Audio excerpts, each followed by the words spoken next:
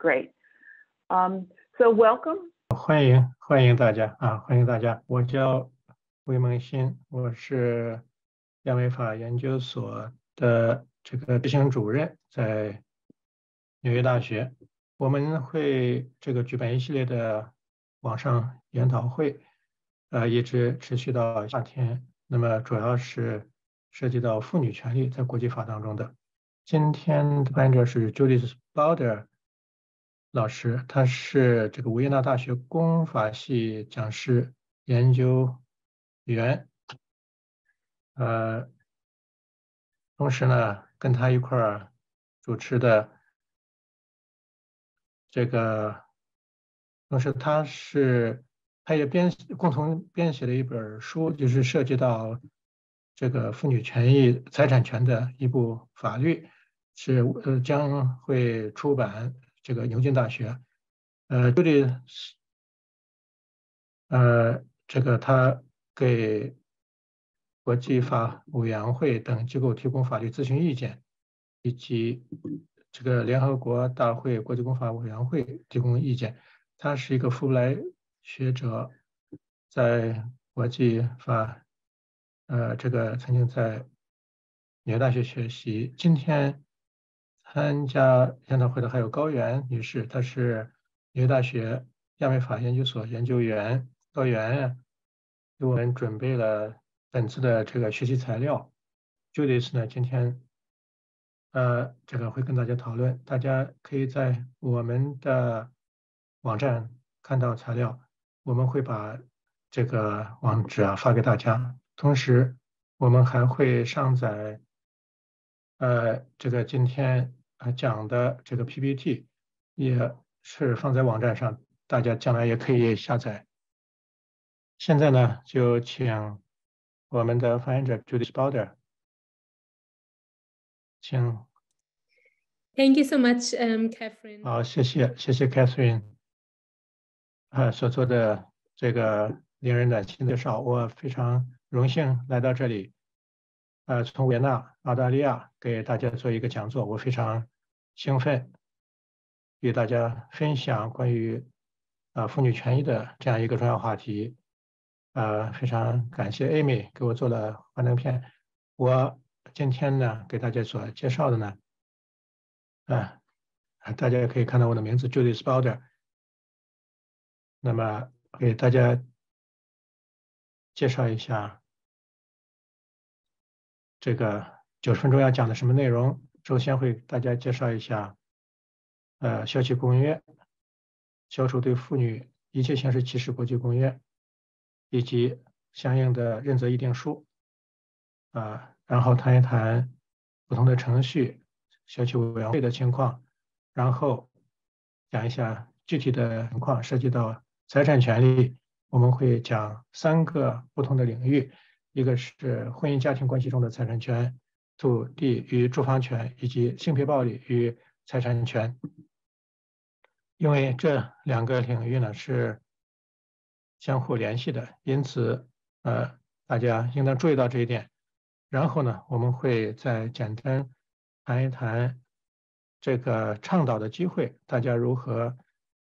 接触委员会？呃，这个采用什么样的程序来提出建议？呃，你们也可以给这个 C 道委员会提出自己的意见。好，那现在呢，就给大家简单介绍一下公约本身，消除对妇女一切形式歧视国际公约。是几乎全世界各国都呃批准的公约，一百八十九个国国家呢，不仅仅签署了公约，而且呢，呃，这个批准了公约，他们这个啊不能违背公约的义务，也就是说啊，他们这些国家呢，这些国家一百八十九个国家，他们愿意接受公约的。这个义务，而且愿意这个这个服从有关的规定。那么，这是一九七九年通过的一个公约，一九八一年开始生效。也就是说，国家呃批准通过之后呢，那个八一年就开始生效。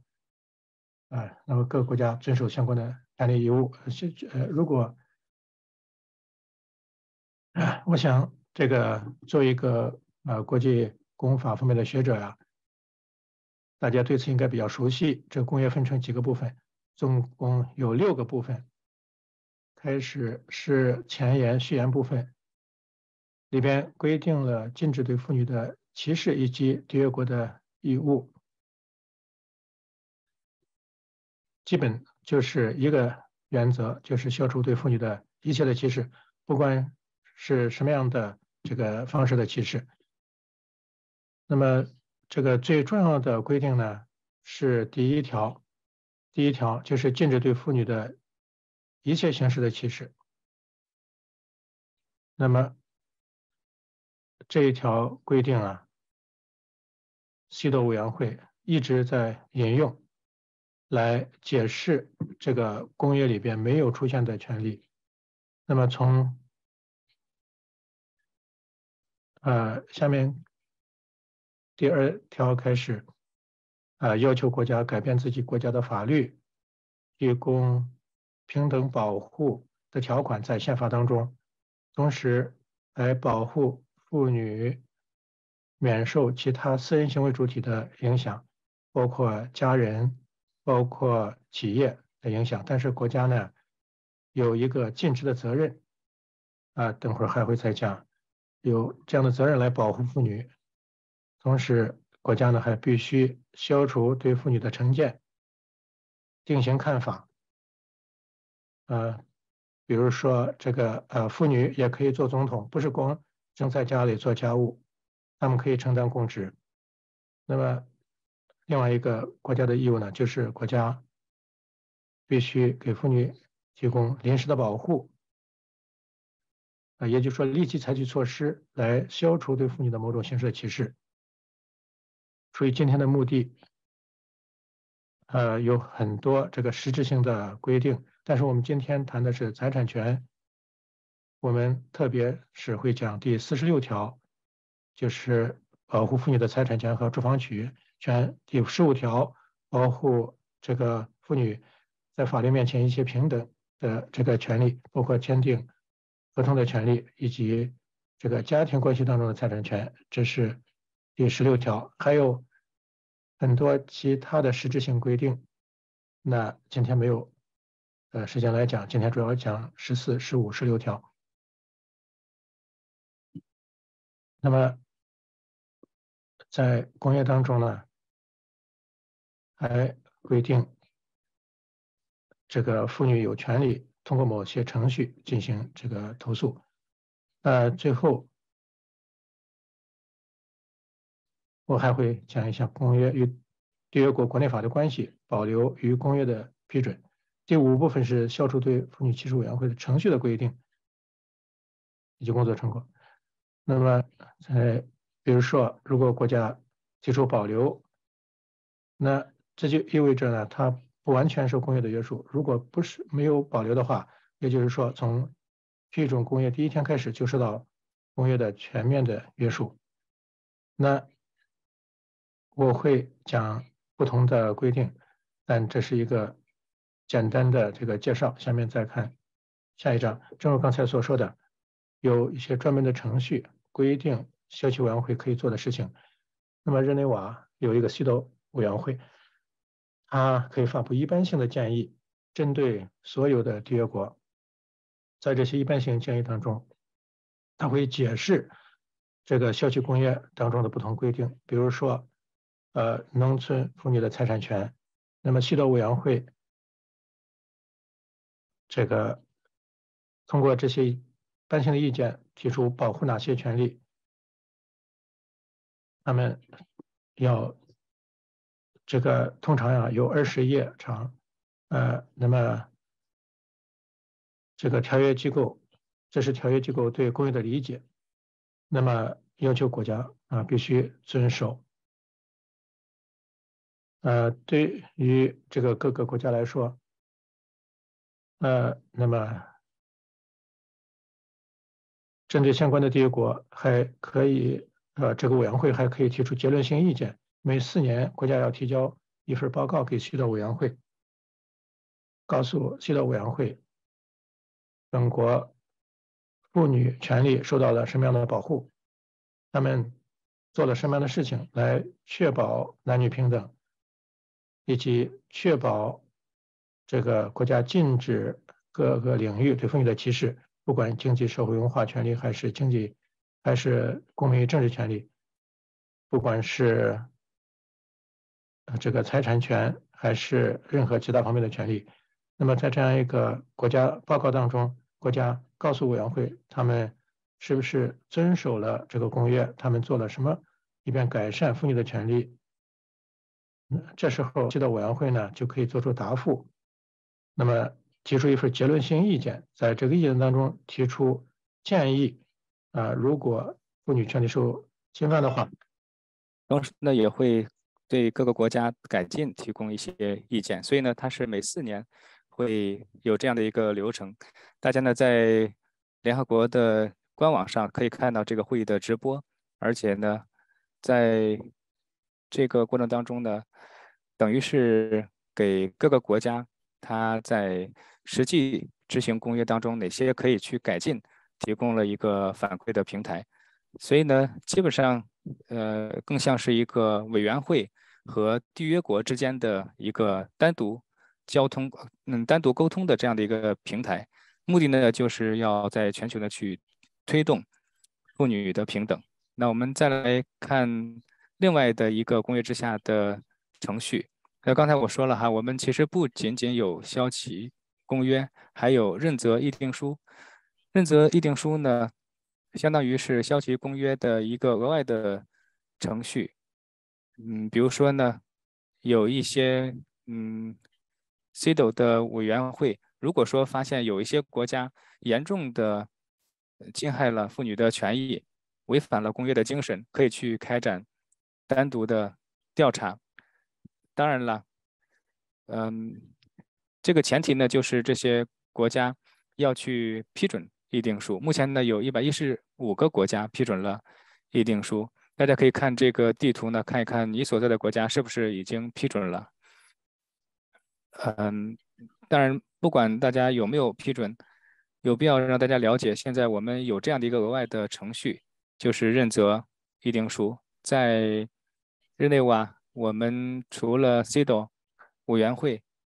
呃，我们也会通过这样的一则议定书呢，来去受理。呃，个人来文，也就是说，比如说某一个国家，他的妇女遭受了不公的待遇，他可以写信给委员会。那委员会呢，受理之后呢，他会以意见的形式，针对个人来文向缔约国提出建议。而且呢，，CDO 委员会如果呃发现了，确实是在这个国家对于这个来信的个人产生了人权的严重侵犯，会呃建议。缔约国去呃进行配合，然后呢对受害人进行补偿和赔偿。当然，这样的一个意见呢不具备法律约束力，但是呢它是具有权威性的，因为由委员会出面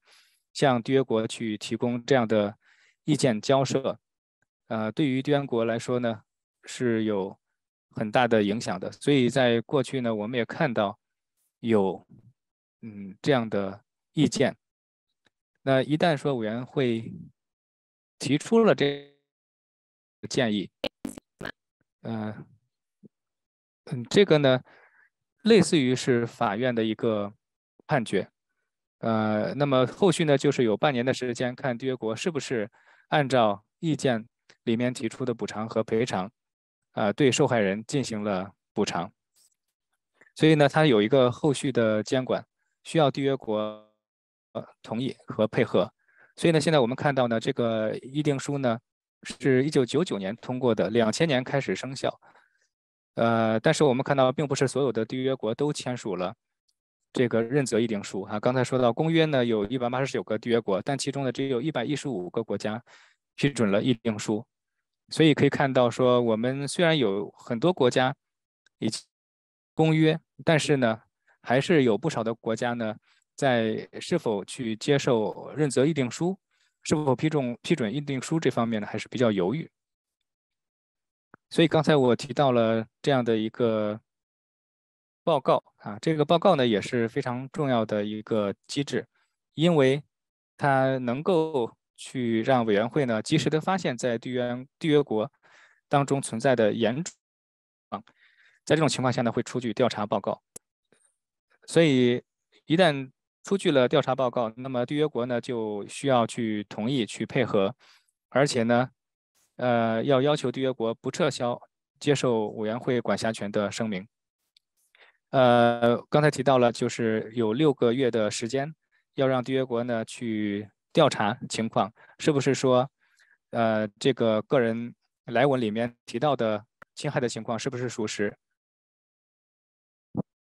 好，那么我们刚才说到了几项程序，那么刚才已经介绍了 CEDAW 委员会，呃，CEDAW 委员会呢，相当于是联合国监测妇女权利的一个主要的条约机构，呃。所以有的时候呢，他的角色呢像是一个法庭，呃，有的时候呢，他更像是一个专家组，因为他非常专注妇女的权益，所以我们推出了公约，呃，缔约国签署了这份公约，就需要承担公约下面的相关义务。同时呢，我们委员会会负责监测，呃，整个义。义务的履行过程，我们看到委员会的，嗯，是由二十三名委员组成。这张图片大家可以看到，基本上他这些委员呢，来自于不同的种族背景，非常具有代表性。同时呢，具有高尚的品行和极高的专业素养，拥有不同的专业背景。同时呢，我们还特别想要去提及的就是，像。有一些人呢，他们是社会学家或者是心理学家，就是说大家的专业背景不一样，但是我们觉得这种多元的专业背景其实是一个优势，因为其实 C 道委员会它要接触的话题是非常多元的，所以这是我们委员会的一个主要的组成和责任。那么公约呢，赋予委员会特殊的权利和职责，来去监测各个缔约国他们的履约过程。要确保 CDO 保护的所有权益落到了实处，而且呢，基本上他们每年呢会举办四次会议，呃，大概每次会议呢会有不同的工作组在日内瓦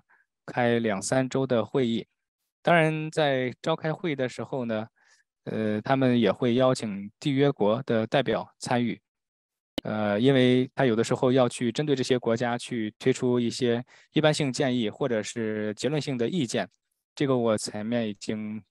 介绍过了。包括像有一些会议呢，会特别针对某一些国家的一些特别的问题，同时呢，还会邀请邀请呃公民社会组织作为观察员来参会。呃，在座的各位呢，其实也可以申请这样的呃。观察员的位置，因为很多委员会的会议都是公开的会议，偶尔会有一些闭门会议，但是呢，大部分是公开的，大家也可以呃去申请去参加啊和旁听这样的会议，这样的话能够更直观的了解 C 道委员会对各个国家的女性权益的关注啊。以上呢就是我对于公约和委员会的一个介绍，看看我们有没有什么问题。好，那我们先暂停一下，看看我们的参会嘉宾有什么样的问题啊？因为我们今天有不少的在线的嘉宾，呃，大家对于整个公约和委员会有任何的问题，可以在聊天区用中文或者是英文写出来。同时呢，我们也想要让大家去呃反馈一下。这三个话题，大家哪个最感兴趣啊？我马上要发起一个投票，因为我们在整个消去工业下的妇女财产权，今天重点讲三个方面，大家可以去看一看以下的议题哪个你最感兴趣。主持人现在已经发起了问卷啊，大家可以呃去投票，同时呢有问题也可以在聊天区提出来。啊，那要不我作为主持人，我先近水楼台先提一个问题。呃，可能我觉得大家比较感性的一个问题就是，呃，刚才您提到说委员会的有一些决定可能不具备呃法律约束力，呃，你说好像他的角色呢好像像法院，但是呢，它又不是法院。同时呢，还提到了有个人来文这样的一个呃程序。那这种个人来文对于缔约国会产生什么样的影响？好的，谢谢哈，这个问题问得很好。我刚才介绍了委员会，嗯，其实会提供呃所有针对所有缔约国的呃这样的一个认责议定书的呃来文渠道的选择。你可以选择签，也可以选择不签。但是呢，呃，在个人来文这个渠道当中呢。呃，相当于是委员会会对所有的缔约国开放，而且呢，最终嗯所产生的结论性意见也会供其他的缔约国参考，因为在这样的个人来文和调查报告当中呢，呃，委员会会重点关注相关的缔约国它的责任，呃，我比如说呢，我所在的国家。我所在的国家就会有一些案例比较具有代表性，那委员会呢就会开展尽职调查，要要求缔约国来为妇女呢提供充分的保障和保护。比如说，有一些妇女遭遇了性别暴力，被丈夫殴打，甚至是杀害的这种情况都有。所以这个时候呢，可能委员会会通过调查报告提醒。调缔约缔约国去关注他所肩负的保护妇女的这些义务和责任，然后呢，这个调查报告里面呢会把这条原则提炼出来，会供所有的缔约国去参考。因为缔约国呢，即便你没有去签署认责议定书，你仍然是呃要关注委员会再去跟相关的批准了认责议定书的这些缔约国。在沟通过程当中，发现了哪些问题？呃，提出了哪些原则？所以这个是针对所有缔约国的。即便你没有去签署认责议定书，呃，那你可能也可以从其他的国家的经验当中汲取教训。比如说哪一些权利应该怎么样去保护，如何能够更好的去保护？我后面还会提到一些例子。所以呢，像这样的一些比较有代表性的一些侵权的。呃，违背公约精神的案例，对于所有的缔约国都是有积极影响和参考意义的。所以，即便说，呃，这些缔约国有一些人、有一些国家没有去签署和批准认责议定书，他也要去关注，呃，委员会针对这些已经签批准了认责议定书的缔约国的相关的工作。这样的话，才能够去，比如说刚才我举的这个例子。能够在所有的缔约国当中去杜绝性别暴力，所以这个是非常有益的一个渠道。像有一些缔约国呢，呃，他虽然没有去批准认责议定书，呃，他至少可以了解其他国家啊那些个人来文和有代表性的问题以及怎么去解决。谢谢。啊，我们后面还可以再呃展开再去讲哈。我把投票啊就结束了。大家可以看我们刚才投下来的一个答案的占比情况，好像大部分的代表对于性别暴力与妇女财产权最感兴趣，呃，占百分之四十九，还有百分之三十一的嘉宾呢，希望更多的了解婚姻家庭关系中的妇女财产权，剩下还有百分之二十一对于妇女的土地权与住房权更感兴趣。呃，那我们就先从这个。嗯，性别暴力财产权开始，因为感兴趣的比较多。正如我刚才所说的，那么公约禁止对妇女的暴力，我啊，这个希望大家用这个公约，看看相关的规定。但是大家会注意到，实际上并不里边没有这个禁止，直接禁止。对妇女的暴力，因此这个委系的委员会呢必须进行发展。即便是在国家报告之前进行了一次践行研一次研究，啊，就是妇女不应当被视为男人的财产。我想这是一个最近的联系。妇女不能被视为财产，不能被视为男人的附庸，这是一个最基本点。基督委员会就得出这样一个结论，以此为解释为基础解释不同公约的不同的条款。从第一条就是禁止对妇女的歧视，那么呃不能这个对妇女的暴力呢，就是对妇女的一种歧视。对于我们而言，这点非常重要。也就是说，西德委员会发展了对妇女的暴力这样一个原则，是根据歧视原则发展起来的。第十二号一般性建议就是针对妇女暴力的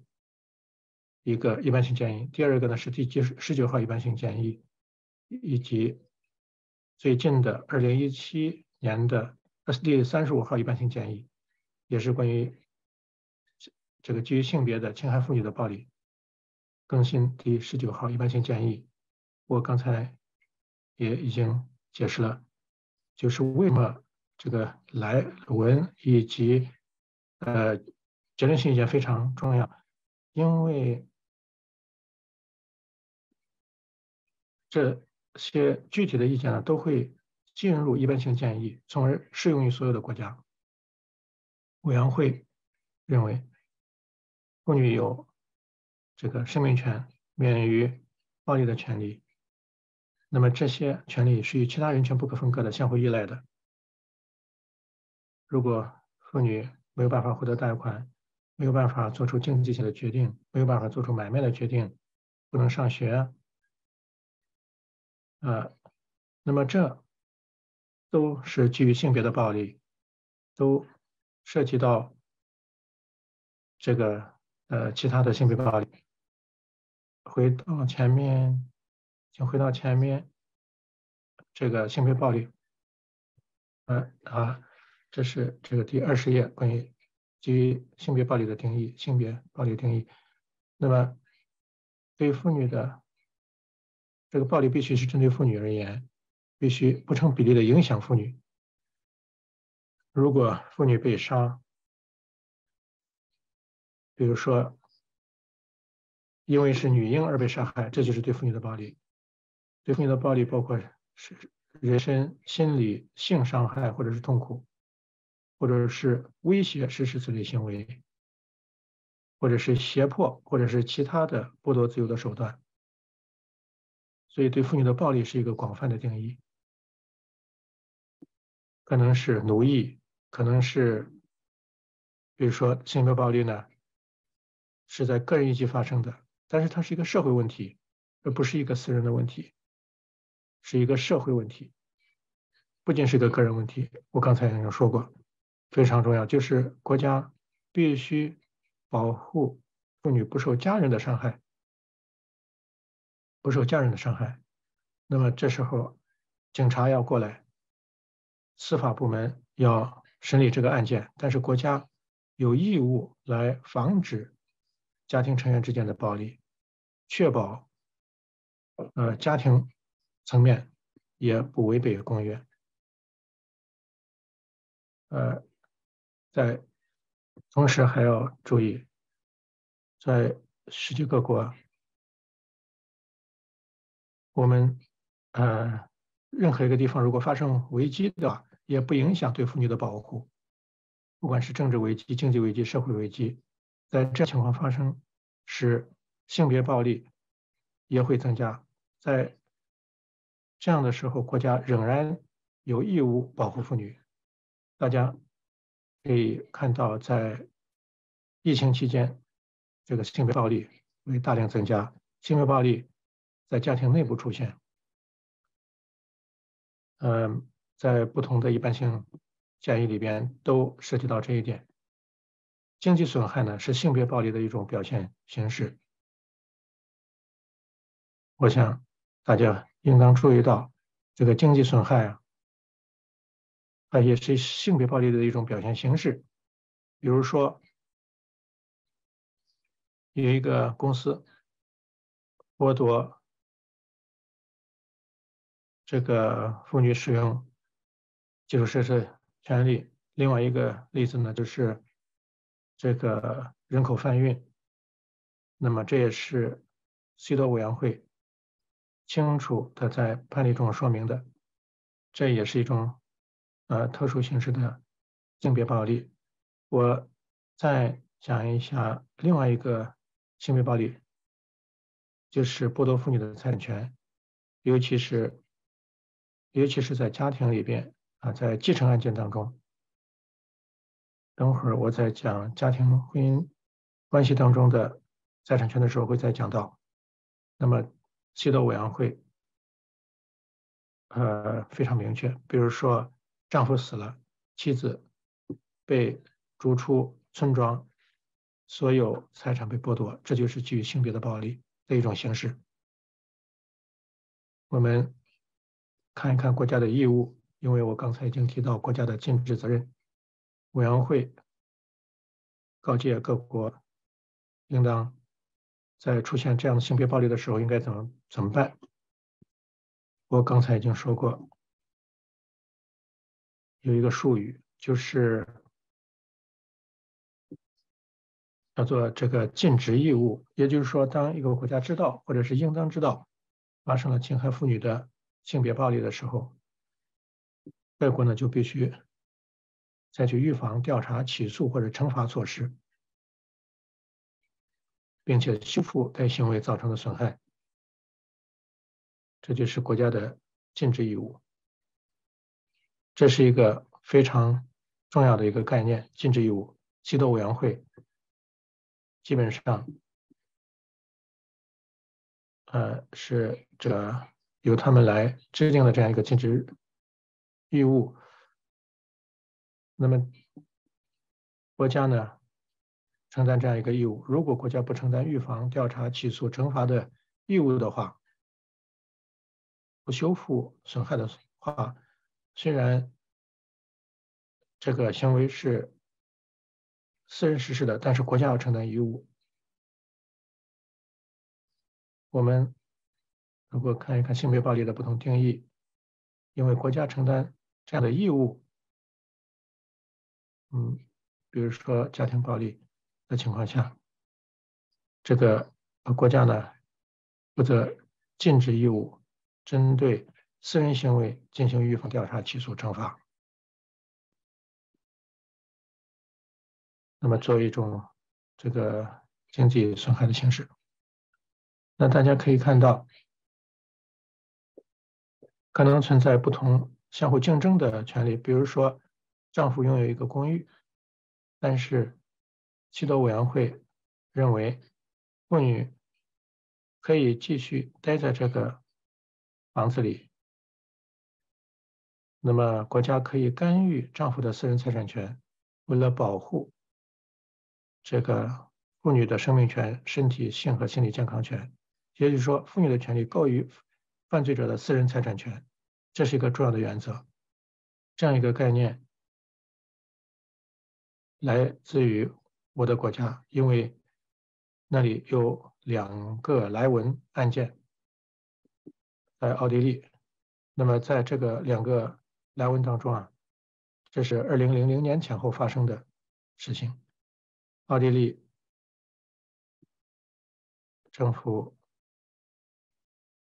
呃，那么在呃一个件当中呢，妇女在公寓里被杀害，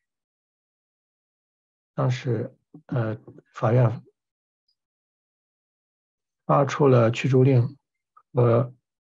拘和这个限制令，限制了犯罪者权利，让他暂时不回家，或者是不到妇女的工作场所去。那么在这种情况下，我们保护的是妇女的生命权、健康权。在这样的情况下，实际上就等于。是侵害了犯罪者私人财产权，这是有必要的，在西德委员会看来是正当的。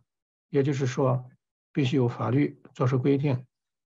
来保护呃这个妇女免受犯罪者的侵害，即便是这样的一个保护会损害犯罪者的私有财产权，那么警察在这种情况下必须进行干预，法院要发布保护令。在奥地利，我们也进行了一些改革，也对警察进行了额外的培训，确保他们进行干预，保护妇女的生命。那这在西德委员会的一般建议当中也有提及。那么在这个个案当中，妇女应当得到补偿。那么在这个一般性建议当中，西德委员会也要求奥地利政府采取行动，修改立法。正如刚才所说的，妇女的生命权、身体权、性权利、心理健康权利高于犯罪者的私有权利、私有财产权。在这个有些情况下，犯罪的私人财产权受到。限制。最后一一点呢，就是结国必须为家庭暴力的受害者提供庇护场所和适当的住房。也就是说，妇女在受到家庭暴力之后要有地方去。如果他们的生命健康受到丈夫的威胁的话，他们必须有地方去。性别暴力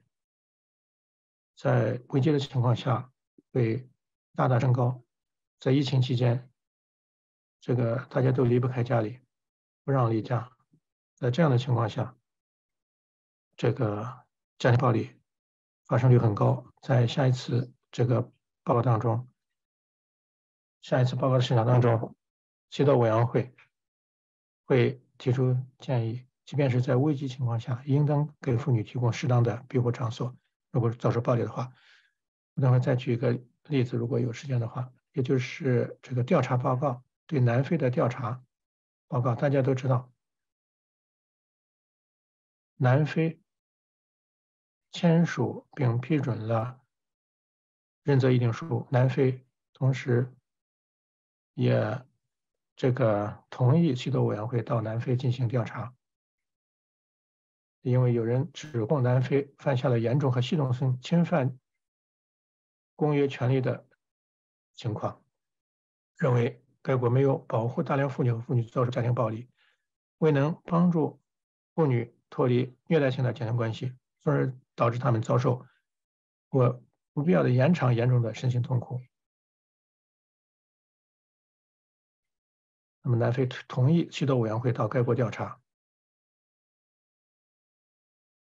南非基本上。对这种情况不闻不问，即便是他们知道有这种情况发生，因为他们没有采取有效的措施，比如说没有啊消除妇女面临的经济社会障碍，因为西德委员会说过多次，呃，如果妇女面临经济社会经济障碍的话，他们有权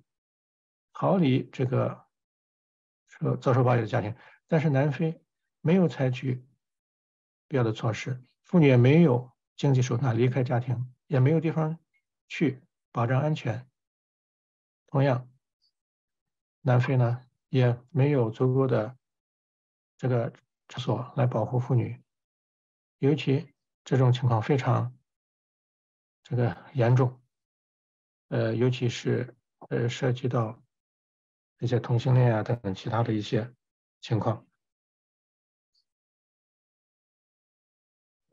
那我从那个调查报告当中看到，好多时候呢是 NGO 给他们提供了救助，但是呢还有好多时候呢，NGO 呢他不接受 NGBIQ 这样的一些群体，所以这个时候呢就会导致这些同性婚姻呐，或者是呃像这些嗯 LGBTQ 群体，确实更容易遭受这样的歧视。所以这样的话，就等于是不必要的延长了他们的身心痛苦，他没有别的渠道去脱离虐待性的家庭关系。所以呢，在这个报告当中，南非是没有去采取有效的手段，姑息了国内发生的极其严重的家庭暴力。所以这是关于南非的一个调查报告。所以呢，西斗委员会呢，嗯，就提供了一系列的建议。啊，因为作为一个关注女性人权的委员会，里面提到了几条建议，一个是通过保护令确保受害妇女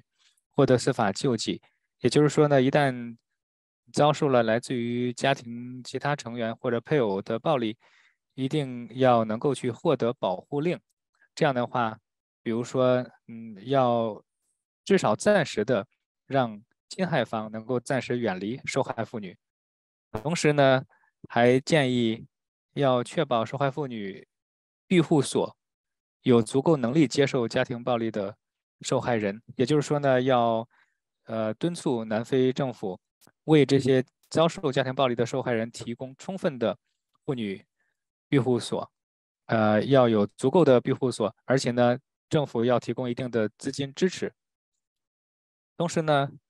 调查报告呢，还敦促南非政府要确保受害妇女有机会获得能负担得起的住房。嗯，比如说呢，我们后面谈到了土地和住房权的话，我们会发现，其实，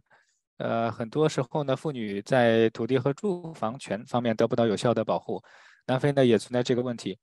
所以在南非有一些地方，嗯，一定要确保受害妇女的有机会获得起。能负担得起的住房。最后还有一条建议呢，就是为受害妇女提供经济赋权服务，使妇女获得经济自主权。缔约国要确保这些妇女呢，在经济上能够赋权，能够在经济上独立，这样的话才能够真正的从虐待关系当中呢脱离和恢复。比如说呢，他即便说在过去有一段时间。遭受了这些虐待性的家庭关系，但是呢，他们一旦取得了经济自主权，一旦有能够自食其力，他们就能够去为自己争取更大的自由，成功的从虐待关系当中去脱离。所以呢，在嗯这个调查报告当中也建议国家呢为他们提供经济赋权。好的，那刚才介绍了关于性别暴力的这个主题，看一看主持人那边我们有没有。其他的问题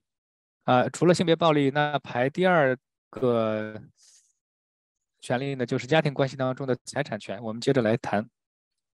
家庭关系中的财产权。呃，家庭关系当中的财产权呢，其实也是很重要的一项权利哈。呃，为什么非常重要呢？其实这个大家也比较能够理解。呃，和性别暴力不一样的是，我们。现在要关注的就是公约里面真正去关注财产权的，呃几个条款，一个是十五条，一个是十六条。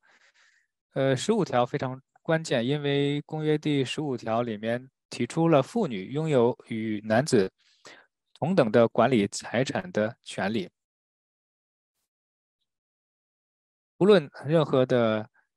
司法程序和环境。妇女必须要与男子拥有同等的管理财产权，所以这个不光是说平分财产的概念，而是指的更加宽泛的一个平等的权利，在财产管理方面拥有与男性同等的权利。比如说刚才谈到，呃，性别暴力的情况，比如说像有一些司法辖区，呃，你要保障。女性的权利，让他们有这样的一个勇气，去到法庭上去跟男性打官司。所以呢，十五条里面呢就规定了这样的一个同等的权利。呃，另外呢要有专门的法律条款和司法程序来充分的保障他们的权益。所以呢，公约第十五条里面做了家庭关系当中的财产权最全面的规定。第十六条里面，呃，说的就更加的明确哈。十五条呢是一个原则性的规定，嗯，规定了在比如说整个司法程序当中，比如说你的财产在登记的时候，只要是涉及到财产权，不管你是在任何一个公共政府部门去登记注册，那只要是涉及到财产的妇女和男性，管理权一视同仁。第十六条呢，里面规定的更加的细致，呃，比如说，公约里面提出，配偶双方的在财产的所有、取得、经营、管理，也就是说呢，比如说在购买、在经营，包括在购买财产之后，整个财产的管理期间都有相同的权利。比如说呢，嗯，你其中一方呢，不能在比如说有一个房产在出租的，嗯，过程当中呢，直接把另外一个产权人的名字划掉，或者说呢，单方面决定要处置变卖相关的财产，这是不允许的。所以，配偶双方呢，在财产的享有、处置方面，都具有相同的权利。呃，我提到了一般性的建议哈。其中有一条一般性的建议，就是第二十九号，这个对于嗯关于婚姻家庭关系及其解除的经济后果的一般性建议，里面呢呃有一些具体的案例哈，当然我要展开来讲，可能嗯就太复杂了，大家可以去回头看一看。那 CDO 委员会在这方面做了一些开创性的工作，呃已经。推出了两个关于家庭关系的一般性建议，一个是二十七号关于老年妇女的，还有一个是关于农村妇女的第三十四号一般性建议。这两条一般性建议里面具体阐述了，嗯，家庭关系当中的财产权受到侵害对女性的权利产生的影响。所以呢。呃，放到一起，二十九号、二十七号和三十四号，对于家庭关系的财产权做出了比较完善的规定。好，我们再看看一般性的建议具体的内容。呃，刚才提到了缔约国的责任和义务，我们具体看消契公约的内容，可以看到，其实很明确的一点就是，它是关注家庭的。而且呢，它会涉及到，比如说有些社会，呃，有自己的宗教啊，或者是习惯性的一些法律。那这些社会呢，有可能跟 CDO 提倡的原则是相抵触的，所以有的时候呢，缔约国就不愿意去接受 CDO 委员会的指导。所以我们看到，像有一些国家呢，在立法的时候。就会故意的绕开，比如说因为宗教啊或者习惯性的做法啊而出现的一些违反工业精神的这些做法啊，他在立法的时候故意的去规避了这些方面。所以呢，其实在这种情况之下，很多缔约国就没有把家庭内部家庭关系中的财产权放到人权的保护范围之内。所以在这里呢，一般性建议就专门提出来说，在家庭内部的平等必须要得到宪法的保护，这是一个原则性的表述，是非常非常重要的一条，也是为什么，呃，我们要和最初我提到的这一点，就是这，嗯，是一个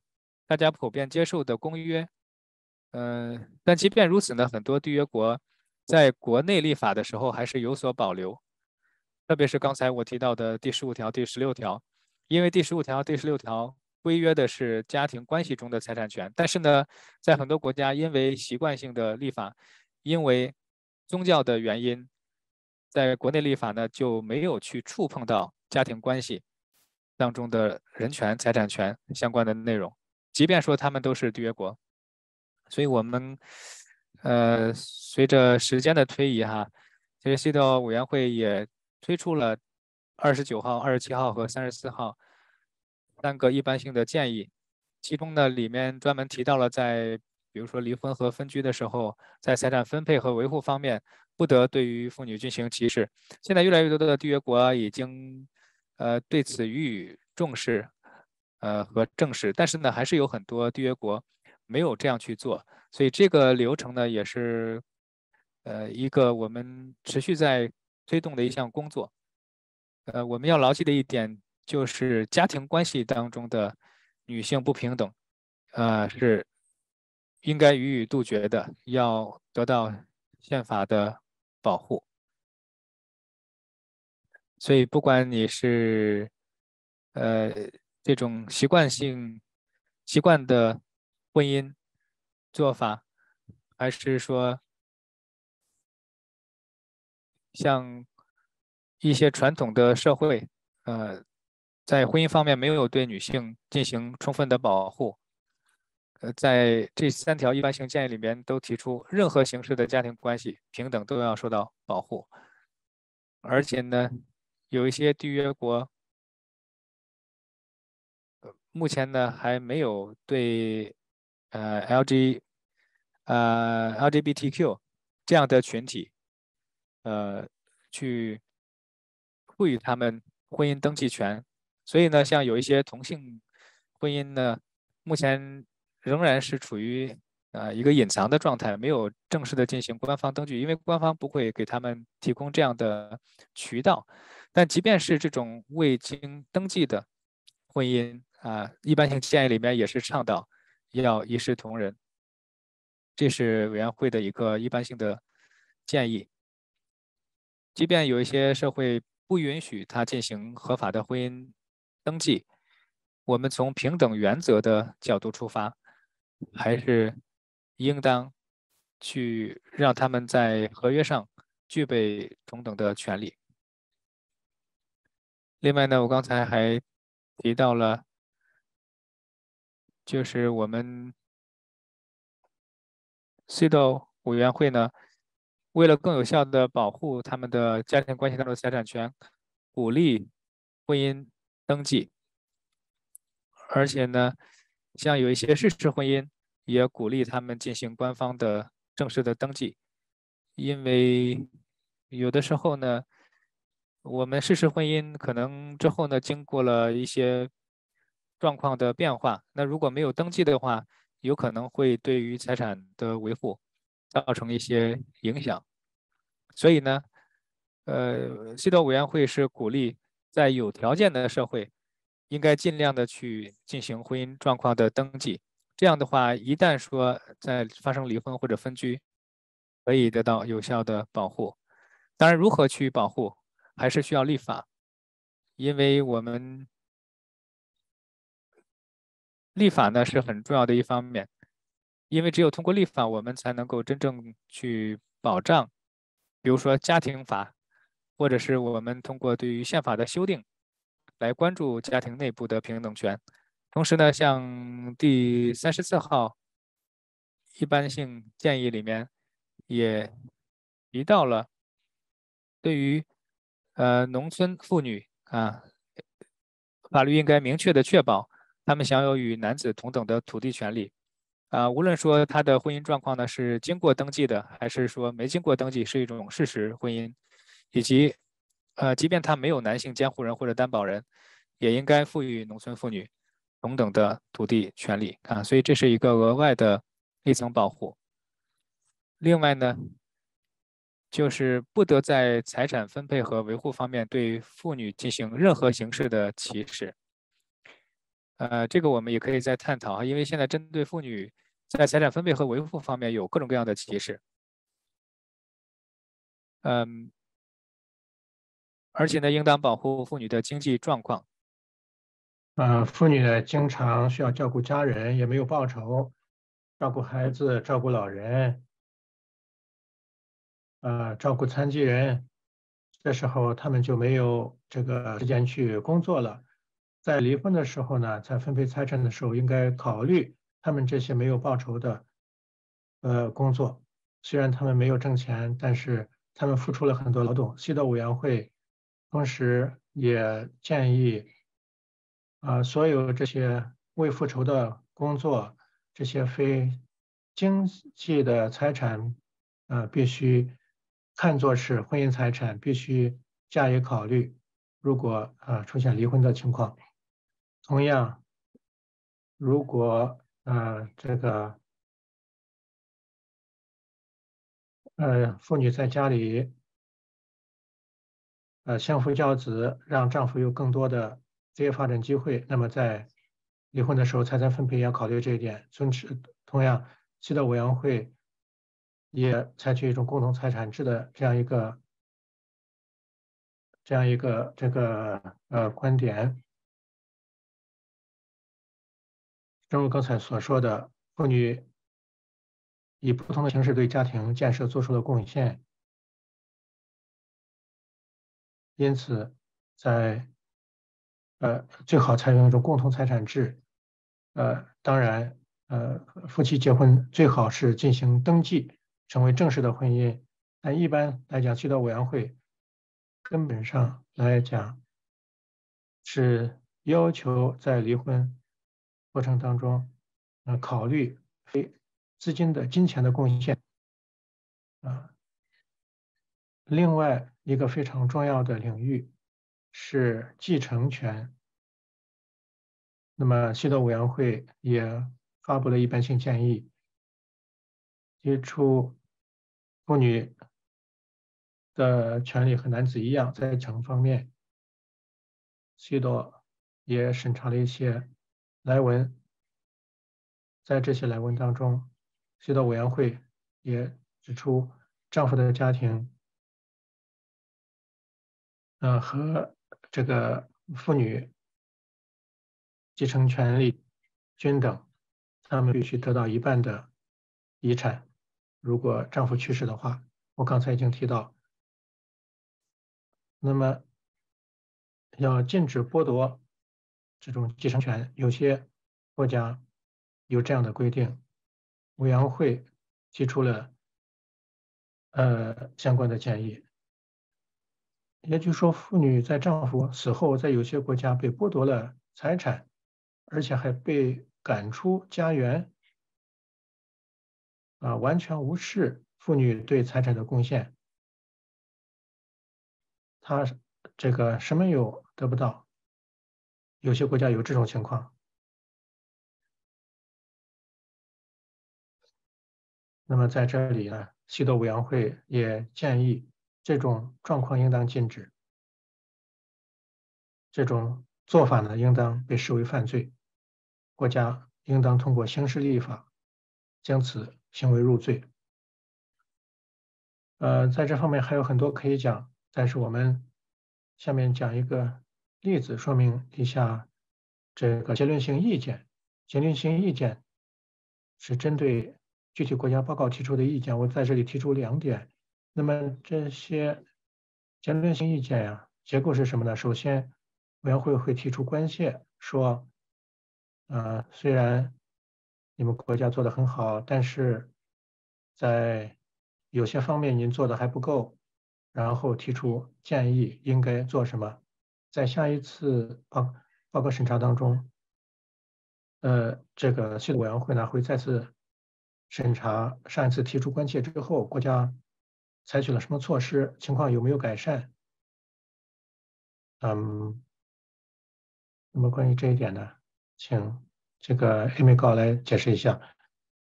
啊，我在这里讲一下，因为这涉及到中国的情况，我想指出，举例子说，这个委员会啊，不仅仅是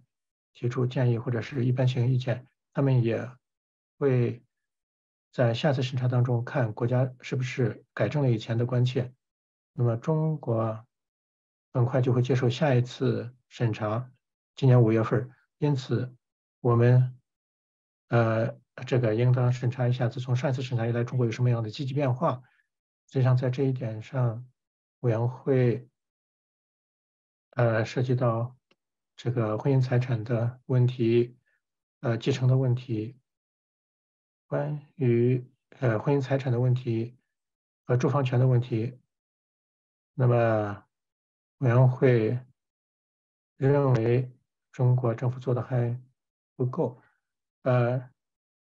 嗯，但是现在呢，最高法院做出了新的解释，也通过了这个民法典，啊，其中，呃，这个最高法院曾经，呃，过去做出的这个决定现在已经废止了，但是农村妇女的土地权还是一个问题，那么今年还会提出在。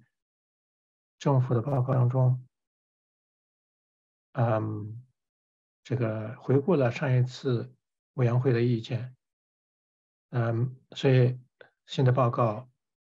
提出了立法和实施当中取得的进进展，关于农村妇女在土地，呃，这个权利方面，呃，承认妇女在村集体当中的成员权。啊，后面这部分呢，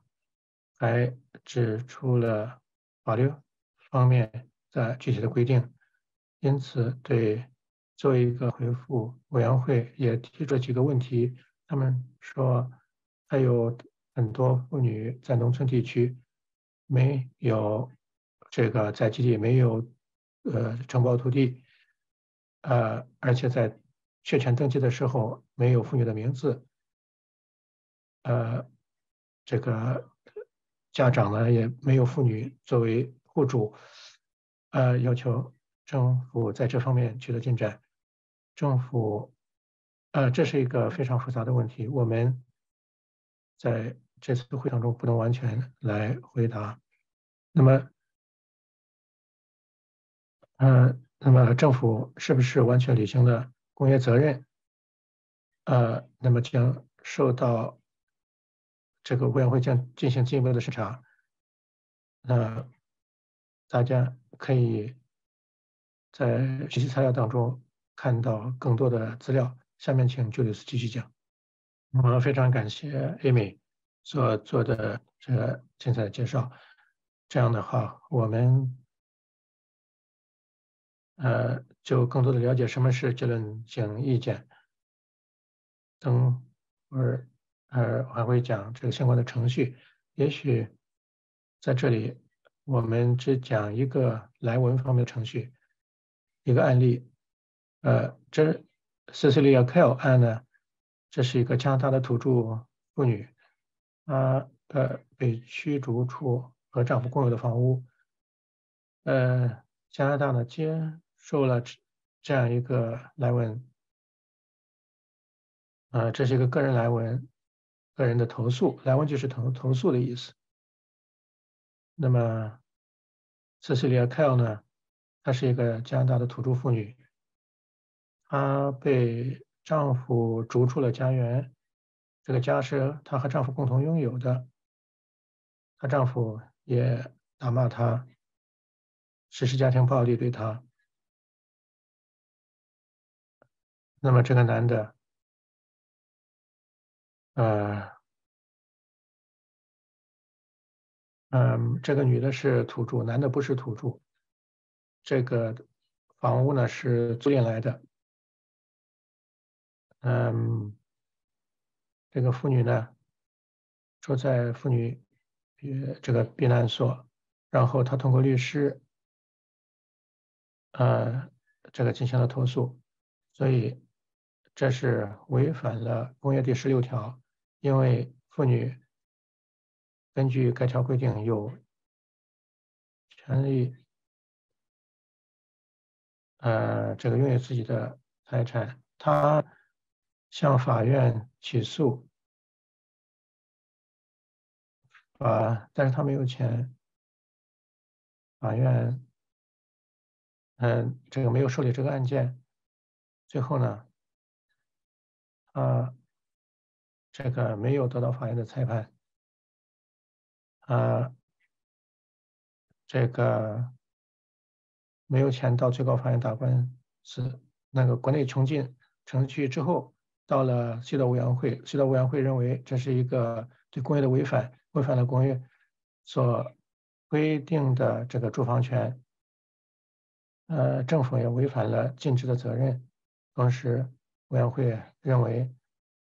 政府要违反了相关的义务，就是确保妇女管理自己财产的义权利。同时，委员会建议，嗯，嗯，这一点是非常重要的，就是这个建议国家在个人层面，这个委员会建议国家提供住房给妇女。包括质量、位置、大小上都要是合合适，同时要求对妇女提供金钱补偿，补偿以弥补由此造成的物质和精神损失。这是委员会要求缔约国采取措施。同时，委员会也提出一般性建议。呃，因为加拿大的土著妇女也遭受很多类似的情况，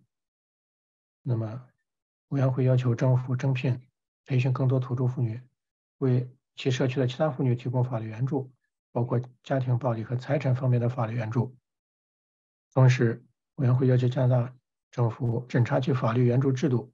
确保遭受家庭暴力的土著妇女能够有效诉诸司法。这些问题都是相互关联的问题。啊，我们来看看最后一点，就是另外一个非常重要的来文程序，这是涉及到这个继承权。在坦桑尼亚有两名妇女，丈夫死了，但是他们被剥夺了管理家庭财产的权利。丈夫的家庭要求两个妇女离家。不给他们任何经济补偿，在这两个案件当中，嗯，有人这个帮助他们起诉。产生尼亚最高法院裁决，习惯继承法具有歧视性，但是拒绝为两名妇女提供任何救济，因为绝大多数的习惯法都是歧视性的。委员会认为。国家的这种习惯法违反了公约第十五条至十六条，剥夺了两名妇女平等享有继承权和财产权的机会。呃，委员会建议坦桑尼亚向投诉人做出与侵犯其权利行为相呃的严重性相称的适当补偿和充分赔偿，要求国家这个修改其宪法。废除歧视性的规定，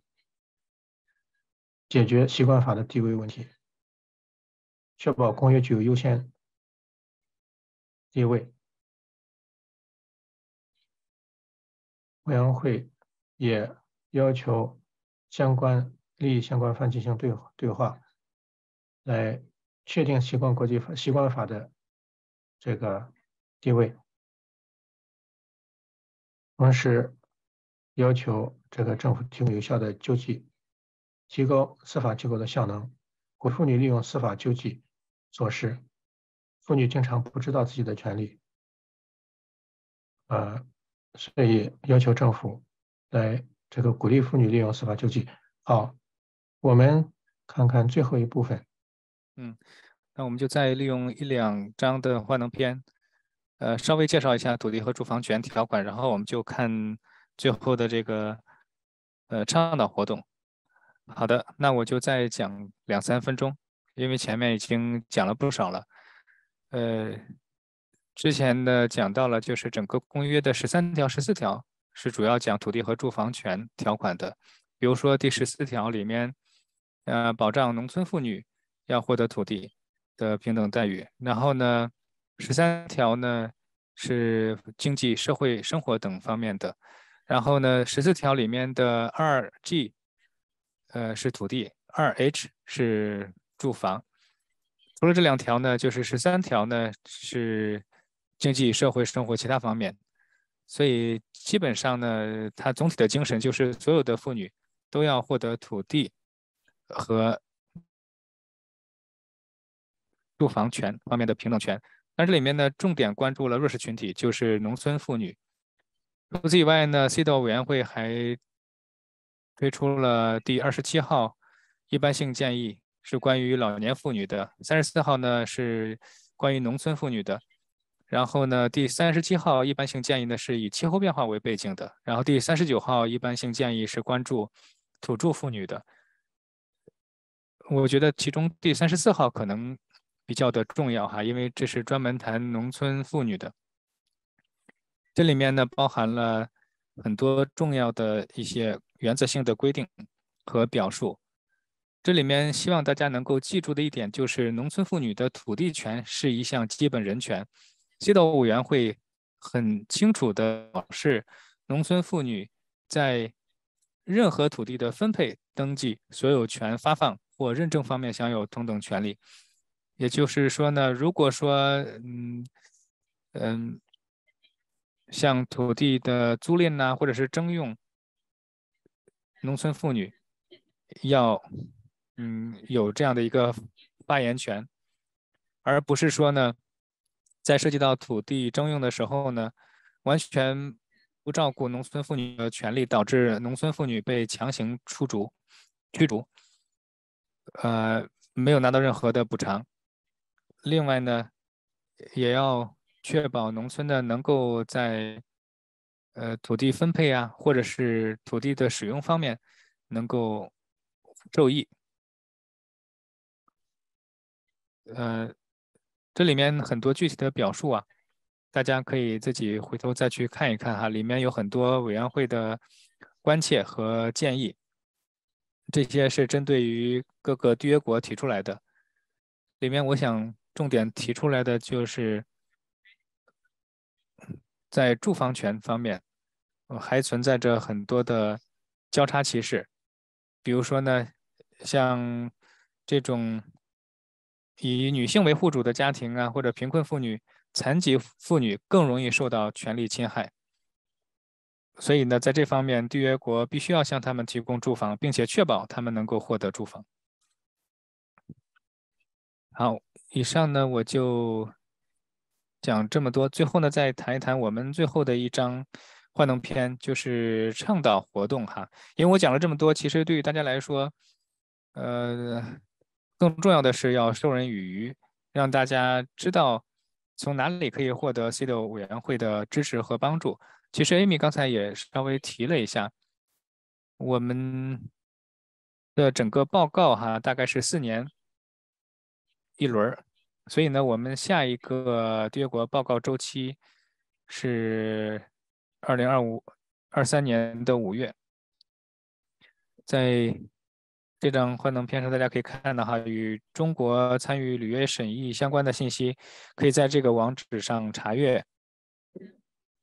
另外呢，有很多会议我们是公开讨论的，就是我们在生成结论性意见，在对外生成报告之前，我们会对公众开放整个讨论的过程，所以呢，大家可以。在联合国网络电视上去实时的观看二十三名西德委员会的委员在一起召开的会议，这里我也附上了观看的链接。嗯，包括我们看到这里面关于第四十号一般性建议的议题。具体的主题还有召开的时间，大家可以去关注。呃，之前我跟德国的同事还谈到，我们的整个认认责议定书中的程序性规定，刚才在聊天区里面，大家也有人提出来说，这些程序有哪些主要的缺点和不足。一般呢，CDO 专家，呃，会去重点关注某一个国家，所以呢，实际的工作开展过程当中呢，可能委员会的成员呢，没有足够的时间去充分的照顾到所有的个人来文，所以呢，我们也在想办法去调整这样的程序，嗯。缔约国每四年要完成一个报告，比如说像德国，他们现在呢要去报告他们的公民社会，然后奥地利呢也在准备他的报告，所以。公民社会呢，要想去跟上这个报告的周期，也存在一定的挑战，因为我们要去照顾到上一个工作组他们总共探讨了哪些问题，那么要根据这些问题，他们提前去提交他们的报告，所以那把这些问题先提交上来之后。呃，像奥地利作为缔约国，再去做自己的国家报告，可能又要往后推，所以呢，整个在程序上呢会比较的冗长。因为现在呢，我们基本上是缔约国呢提交一个很长的报告，然后呢里边呃提出了很多的问题，对吧？然后这些问题呢可能是梳理了过去四年的情况，呃，那一下子提出来可能没有办法及时的去解决，所以这个也是我们这个报告的程序所存在的一个主要的短板。呃，看到了一大堆问题，但是呢，它是横跨四年的。可能有一些问题早就应该解决，所以呢，这是我们啊希望将来能够去改革的一项事情。那么，C 道委员会呢，现在也在去制定下一项一般性建议，议题呢是在决策体系当中确保妇女获得平等和有包容性的代表，同时呢。大家也可以注意委员会网站上的征稿启事，可以向委员会提交材料。通过这样的一个渠道呢，参与委员会制定一般性建设的过程。另外呢，如果缔约国已经批准了认责议定书，可以去关注。最后的这两个链接哈，关于个人来文以及调查程序相关的一些背景知识。当然，即便是你所在的国家没有去批准认责议定书，也可以去关注哈，因为这样的话，我们能够更好的理解监督委员会，呃和签署了、批准了认责议定书的这些缔约国之间是如何互动的，我们是如何通过这些互动来去保障全球妇女权利的。以上呢就是我的一个介绍哈，我就先说这么多。